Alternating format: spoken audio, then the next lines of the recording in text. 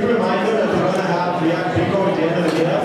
Um, and if you haven't seen yet, so there are the prizes. There are real career boosters. There are like PS4 with the game. And what else we have? Chromecasts. So, worth reading. Thank you.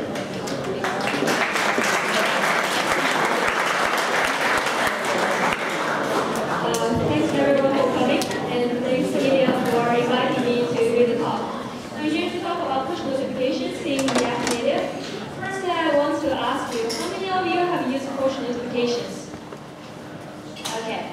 How many of you have experience with React Native in notification? How many of you use it in native mode? Okay. So some of you might have better experience, like uh, know push notification better than I do, because I was a beginner to both React Native and push notification um, when I started building this app. So I'll share my experience as a beginner about how we implemented push notification uh, in our app and what are the pro problems we encountered and the solutions. Um, I guess the previous two speakers are all experts on the topic, and I'm the only beginners here, so hopefully, hopefully I have something valuable you can, you can use. Um, firstly, uh, talk a little bit about uh, myself and my company. Uh, so uh, I'm working Coach, which is very early stage uh, startup. We are trying to build a platform that allows content providers to create their own advice-based mobile app on our platform and share it with their uh, friends and uh, to the public. And when using the mobile app, users can customize the app to their own usage and keep track on their progress. So it is more like productivity on the user side, and uh, on the other hand, of uh, content creator, it's more like a Squarespace of mobile app. At least we are trying to go that direction. So that's us. Uh, we use notification to keep users motivated and uh, encouraged. So how push notifications work in our app? We allow users to schedule events. So they will receive a push, uh, push notification at the scheduled time. By clicking the notification, app brings up corresponding screen of the event, which is uh, the data included in the notification payload itself. Uh, another use case is user can subscribe to newsfeed that publishers uh, push on our platform. So it's more like a WhatsApp pattern. Uh, you will see this is a very, very generic usage of push notification in any app store. So let's start with very, very beginning. Uh, as beginners, we started looking at what are the React Native libraries we can use. First, of course, comes into mind push notification iOS, is provided by React Native, written by Facebook. So, well, everyone's first step. The problem is, uh, so although the setups is very clearly described in their webpage, uh, you link some native libraries, uh, put code in your app directly, and then you can implement the rest of the handlers in React Native. But you see, we were new to notification and React Native, so what's next? A lot of space is left for us. We still don't know what's next. So I would say this is for experienced developers if, if you want most of flexibility and you want to write most of the handlers and parse logics by yourself. So uh, it leads us to React Native push notification package, which is uh, right now pretty well known. A lot of people are using it. Uh, if you go to their GitHub page, you can find a step-by-step -step setup. The first part is uh, identical to push notification iOS. Uh, same thing, you have to link to uh, native libraries, set up some code in app delegate, but then they implement most of the handlers for you, so you can just configure the listener and uh, implement some of the unreceiving or unregistered methods and you're done. So you can use a lot of their example codes and you are good to go. The next step of uh, our natural logic is how do, we, how do we deal with push service? Because there are two parts of the business. One side, you receive push notification on your mobile service. Another side, you need some mechanism to send it to your, to your phone, right? Comes to our mind, Google FCM and Amazon SNS. Those are the two most commonly used platforms to send push notification. A lot of you might have already used them uh, in other scenarios and uh, uh, be very familiar with the API. So the good thing about them is that they have uh, RESTful APIs. So on your backend service, all you need to do is send HTTP request to their API, uh, choose the right FCM, for example, uh, FCM, choose the FCM server to connect it to. And then you send your request to FCM, FCM dispatch the message to the devices, and you're done. And they have admin console that you can see. Um, you can see how the messages are delivered, how many messages are uh, delivered uh, throughout the day, extra, extra, all the traffic. So seems like all the problems are solved. Uh, you on our backend service, we simply um, connect to FCM. Okay, so there are one more thing. How how does how do you know which device device to send to? There's one thing that gets generated on the device called token, device token, uh, whatever you call it. So what happens is uh, at the registration time, first thing the device does is generate a token and uh, send uh, send to backend or like your app server. Next time, when you need to send a notification from backend, you uh, you use this token as an identifier and send it to uh, Google FCM or Amazon SNS will recognize it and dispatch to the uh, device that has this token. It seems to be happy, everything's done. Wow, we complete the project. Oops, okay. Boom, problem. It's never that easy. So it comes to us, the token management is pretty nasty. So we, we said token get generated on device, but sometimes tokens, they get regenerated. How do you keep track of the latest token get that gets generated. Um, and also, how do you manage users? They have multiple devices, thus have multiple tokens. One thing, of course, you can do is um, you can have a list of tokens associated with user. So, um, so initially, our application logic is that every time when users logging in, they get their current uh, local token and uh, send it along with the login information. The backend app server, app server has this API and keep track of this user ID associated with one token. So it's one-to-one -one, uh, uh, mapping. And when we deal with users have multiple devices, we keep, keep it as one-to-n uh, mapping. But still, every time when the token get regenerated, we need to keep track of this. Uh, initially, everything goes good because we were in MVP stage. So every time user gets onto the app, we force them to log in and everything. But we need to optimize it. So the optimization is that we, we, uh, we store the user ID every time after the first time they log in, we store the user ID to local storage. Next time it brings up, we rehydrate directly from local storage. That means they no longer need to log in every time. So it also means we, it's easier for us to lose the synchronization to the token number.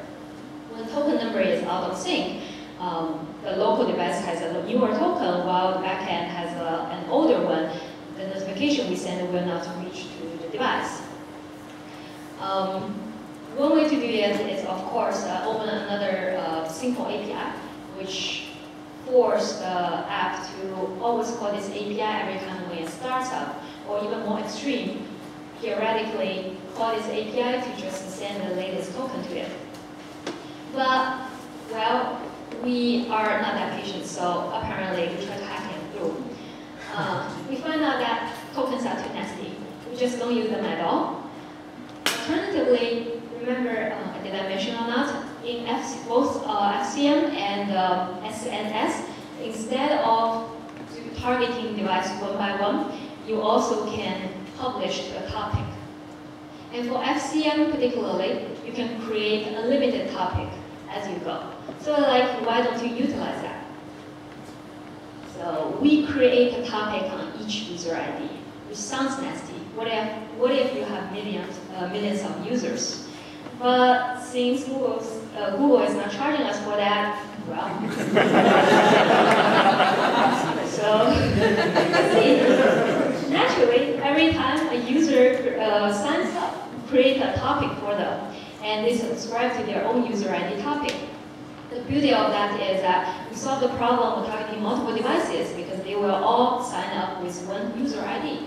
And also, um, it's easy for us to just just manage uh, in the backend because uh, we no longer need to have complexity of all the token uh, logic, association, one-to-n, one-to-n, uh, n-to-one, everything. So that's nice. So you can see also an alternative of using it is uh, you can have, if you are familiar with PubNub, you can use PubNub to, um, to manage all the topics and connect PubNub to FCM. Use FCM to dispatch all the messages. So that's what. Okay, while we were struggling with token management, we also started looking at other uh, tools that can help us. This uh, platform called OneSignal comes into our mind, which uh, we eventually find is pretty good for beginners. So if you are a beginner, probably you will be interested. Uh, this is also a platform. They have their own React Native package called React Native uh, OneSignal. They have almost everything implemented for you. You only need to implement the uh, very minimum on register, on register, and on receiving. Um, also, you same thing. You send request to their API, API, and they will dispatch notification to targeted devices.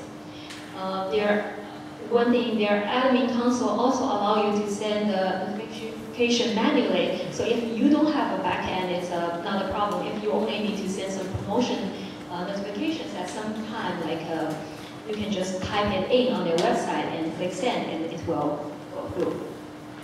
Uh, one nice thing about their platform I would like to mention is the filtering and the tagging and filtering feature. So earlier, uh, during the process solving the token problem on FCM, uh, we use topic. That is very handy when you are subscribing to newsfeed or uh, exclusive content. So you can say uh, subscribe to weather and uh, some this particular content like Reactive NYC's content or the next class, all the classes or all the lectures by this creator. Um, the OneSignal has a different way of doing it. Uh, they allow you to tag every device. So when the device is registering, you can set its tag, multiple tags to, uh, to the device. You can say user ID equals 123, starting time equals current time, and uh, uh, newsfeed equals global, something like when you are when you started listening. And then uh, on the back end, when I'm sending out notifications, I can, I can say, uh, if I say sending to user ID equals 123, it will target only one user, all the devices of this user. Or if I say starting time greater than a timestamp seven days ago, then I can target all the new users that started registering like uh, within a week. Or if I say, uh, or I can combine multiple criteria together and make a complicated query, which simplify uh, logic on the back end. Because um, technically, you can do the same thing for FCM if you build your own tagging and uh, filtering logic on your push notification server. But as a startup and as building an MVP, time and resource are the very limited thing we have. So whatever gives us most, we will use. Uh, you'll see this is, we ended up using OneSignal for our MVP stage. But everything comes with a problem. Here is the problem. Sometimes notifications fail to bring up targeted modeling app. I mentioned earlier in our app, every time user click on the notification, it should bring up a corresponding uh, screen, which is uh, has the data of that event they, uh, they schedule. So firstly, there will be modal coming up summarizing the event, and then clicking some button on the module, it will lead you to the screen corresponding to the event. But it just, sometimes it works, sometimes it doesn't. uh, doesn't. Especially, uh, we looked further and find, find that whenever the app is killed in background, notification, uh, notification data payload gets lost. So if it was killed, when you click notification, it will first try to bring up the app itself. And when the app gets the payload data, there's nothing in the payload data. And then there's nothing to render, render for the modal, thus nothing shows up. It's, so I, I would like to, definitely like to know how uh, some of your experts would solve that. Uh, we find two possible solutions. One is always retrieve, not always retrieve. So whenever uh, app detects payload data is empty, try to retrieve payload data from server. So we open an API on the server that says uh, takes user ID, and every time if the, if the client side say, says, give me all the notification of this user ID, we dump it to the client. And thus, they can just uh, use that payload data to bring a modal. This doesn't work very nice if you have multiple things and allocating uh, specific uh, payload data show up will be a little bit messy. Uh, so I would say it works best if you have an inbox.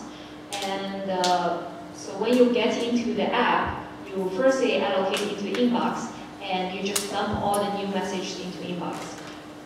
Another way which we eventually take is store to and retrieve from local storage.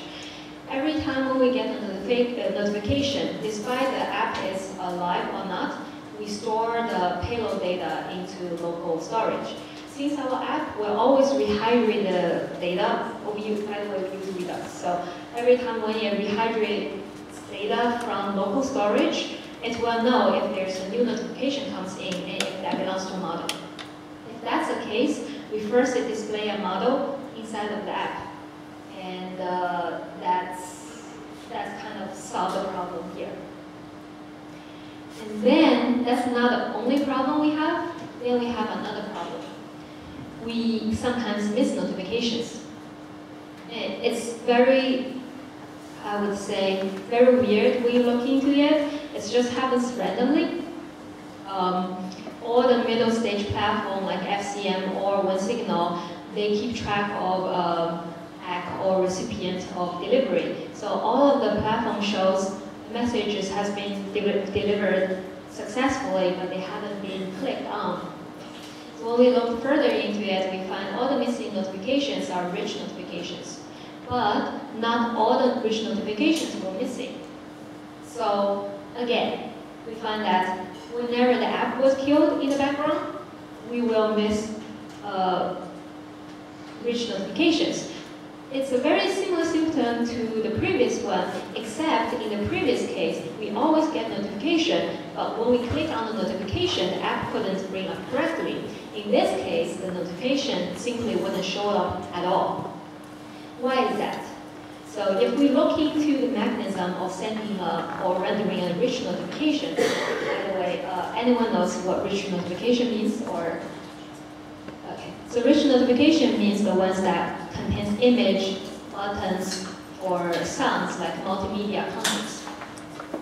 So you will see, you will see by nature, probably the iOS wouldn't render it nicely with an image or sound. Um, so how it works is that firstly, uh, the platform sends a silent notification with content available flag set to one. That notification contains um, all the instruction or the multimedia. When you reach to the uh, your device, then the device firstly tries to uh, firstly try to wake up the application and render the notification into the rich notification. So using those data to give the give you a notification that contains image and buttons. So this is a two-step process. You can see when the app was killed in the backend, then nothing can render it. And your payload probably get lost as well. So the first step never completed successfully, thus you wouldn't get the actual notification pop up on your phone. Um, we still haven't got a very nice solution to it, so I'm open to any of you if you know or you can think of a good way to do it.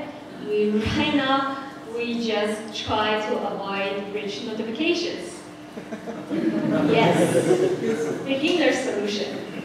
Avoid it if there's a problem that prevent you from going. Okay, so that's pretty much it. I hope I cut it under 20 minutes. Um, thank you very much for listening to me.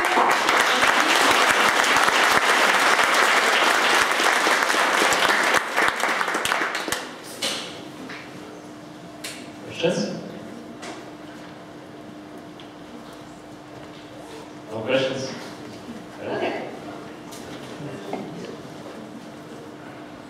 Uh, you earlier mentioned something about um, ha- creating a new topic for every user ID Yeah. that was generated or any ID. Is that something that um, is scalable? Like, have you asked um, Google FCM or you know Amazon SNS if that's something that they're okay with, or Yeah, so um, that's why I mentioned PubNub, because uh, I have more experience using PubNub. I know as a fact there's no penalty creating more topics on it.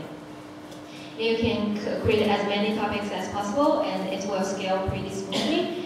Um, and if you connect the PubNub interface to FCM, that will give you same experience as if you're sending to FCM directly. It doesn't really look into FCM as if they are going to charge or, uh, I'm sorry, they are not going to charge, but if there will be any performance penalty if you created too many. Yeah, that's a good thing to look into.